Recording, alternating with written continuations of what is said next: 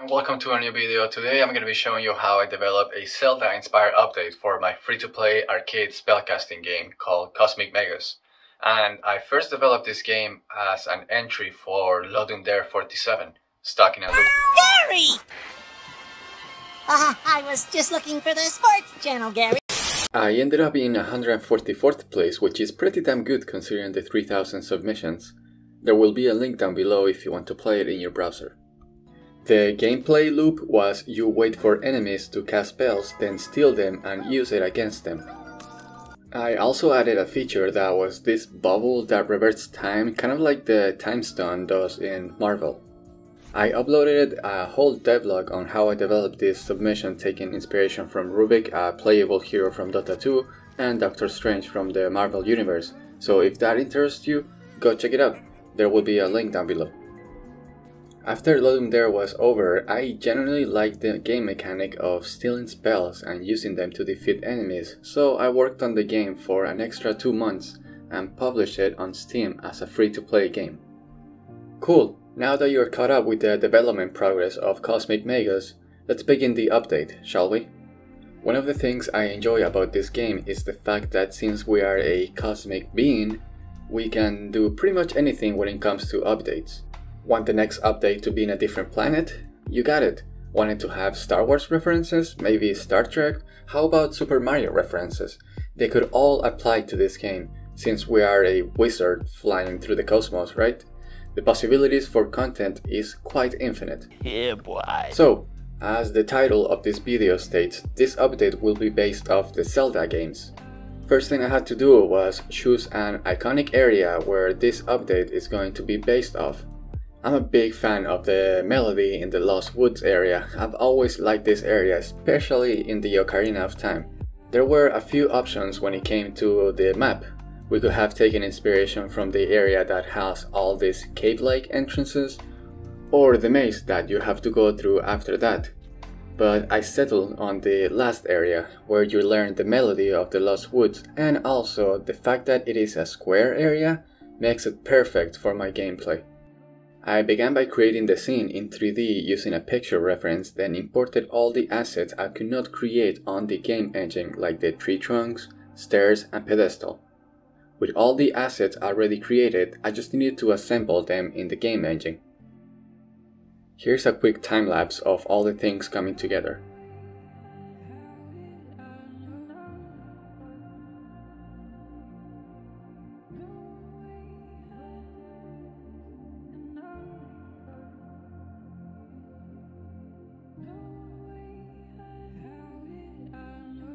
I really think the post-processing as well as the particles bring the map together quite nicely.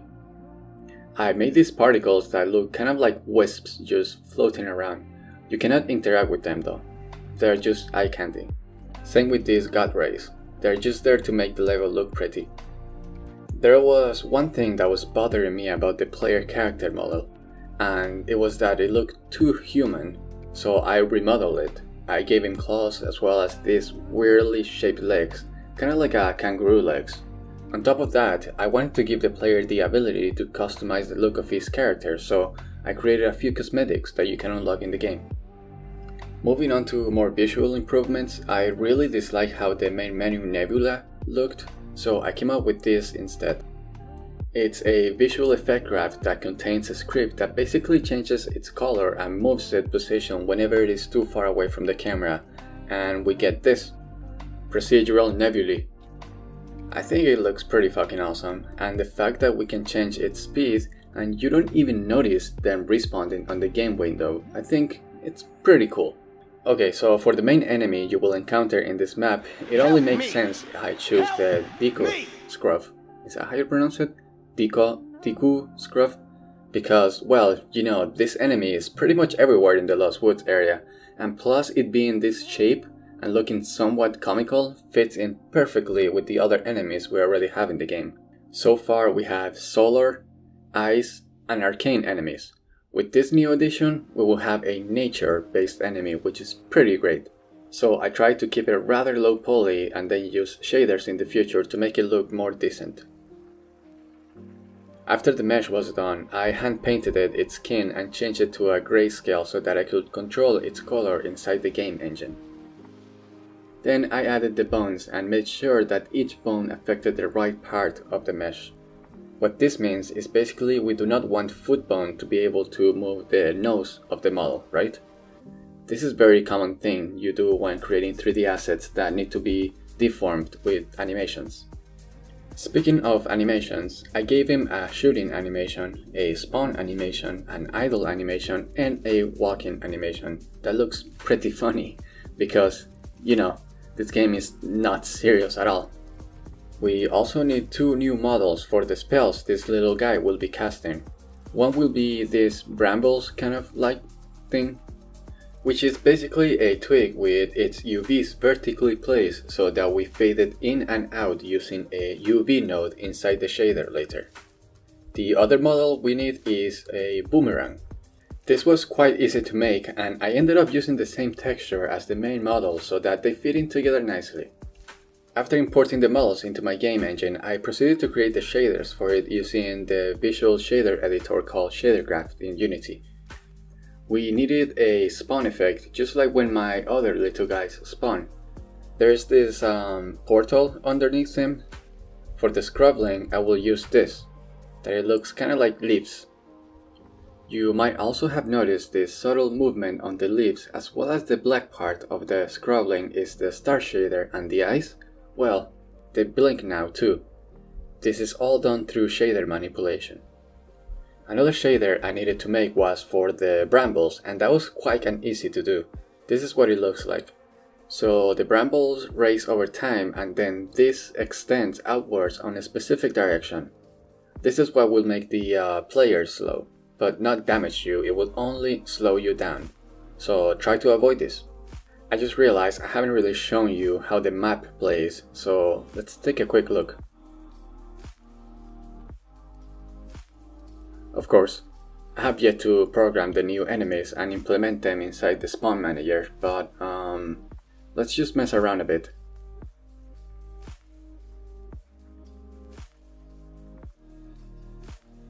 This might look really chaotic, but trust me, once you understand the basic gameplay loop and get used to the spells being used, it's a pretty fun experience. It's finally time to program these little guys. I'm trying to create a unique enemy here in comparison to the other enemies that are already in the game, right? This new enemy I'm calling Scrubbling will spawn and hold its position until you come near him then he will pop up and attack you. This was quite easy to program so let's check it out.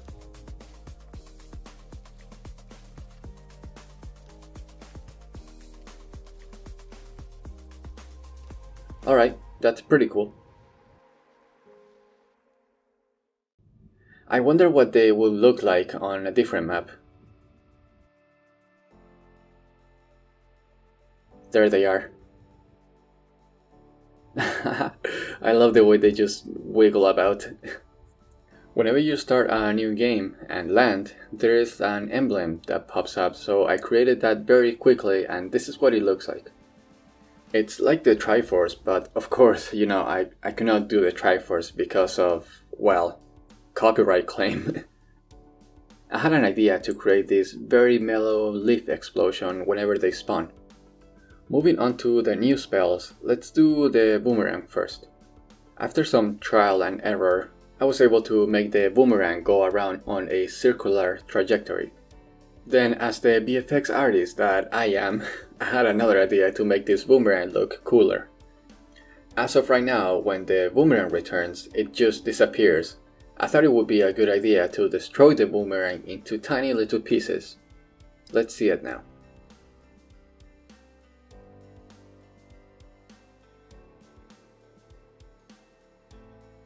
Okay, it is starting to look very nice. Very nice. Next spell was the brambles. I needed to figure out how to rotate this properly so that it is facing the player, or if the player uses it, it faces the enemies, right? After a little while of programming and trying to understand freaking quaternion rotations, which I've always struggled with when it comes to C-sharp programming, I had it working somewhat okay. I also gave them a cast VFX of tiny little brambles at their feet. For every spell in the game, there has to be an icon, so I made icons for the Brambles, Boomerang, and a third spell which I have yet to talk about. It's a pretty useless spell though, it just morphs you into a random object. Since you know, when the Scrubblings spawn, they spawn as little acorns. So if you steal a spell right after they spawn, or pop up when you come near them, then you steal this useless morphings spell thing. We continue by creating the image file for the map, the one we need to display when the player is selecting a map. I just took a bird's eye view picture and then edited a bit. We also need to create the image files for all the new Steam achievements and integrate them inside Steamworks, which took me quite a while but I finally done did it. I was getting pretty close to finishing up the update, there was just a few more things I wanted to improve and that was for the map selection menu. I redesigned it all and created 3D meshes of each map logo so that it could display them here. I had almost forgotten to implement the cosmetics. I created a few more of them as well as designed the icons to display them and the window pop up when you unlock them. The way you unlock them is that whenever you finish a game with say 30 kills, then you have a 30% chance of earning a cosmetic and if you win with 100 kills then you have a 100% chance of getting an item. Very easy to unlock cosmetics in this game. The last two things I had to do was add a new Steam leaderboard for the Lost Woods map and also create a new preview for all three new spells. Alright, that sums up the update. Let's check it out.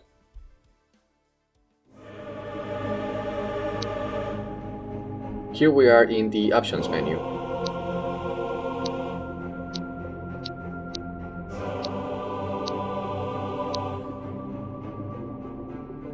I added an option to change the spell steal and spell cast buttons, but other than that, nothing new here. Let's take a quick peek at the achievements.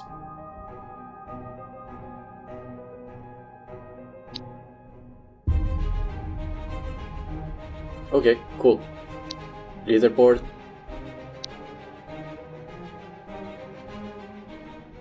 Yep, yep,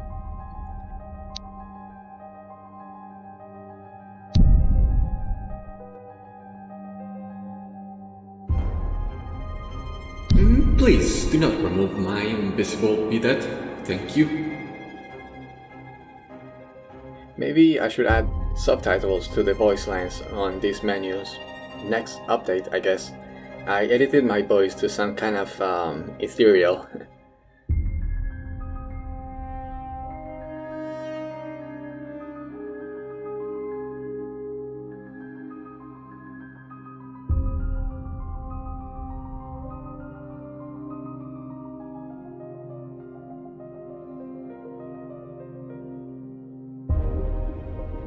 Let's peep the new map selection menu. Valhalla, the Hall of Slain Warriors. Good thing I'm a wizard. Yeah, I really like how it turned out.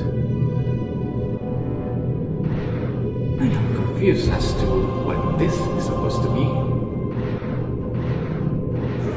I hope no trees come knocking on the tower's doorstep when I am there. Last thing I had to do was commission some work from a composer for the theme song. Ivan Duch made this song for the Lost Woods map. Here's a quick peek. Big shout out to Ivan, he fucking killed it. Much later. So I worked on it for a whole month, updating the enemy models, animations, visual effects, training game mode, and a few other things here and there, like subtitles. If you want to play it, go ahead. It is free on Steam. Let's see if you guys can beat my high scores. I've been planning my next game for a couple of months now and was waiting to finish this update to begin working on it, so stay tuned for my next devlog where I begin my really, really cool new project. And that is it. I really hope you enjoyed this video and if you would like to see more game dev content, I upload videos on various different things related to game dev, so subscribe if that interests you. Thank you all for watching and I will see you in the next video.